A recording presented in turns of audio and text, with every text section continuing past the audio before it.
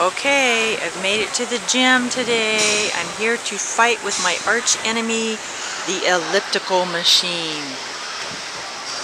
Ugh. Hope you all have a great day. Work out.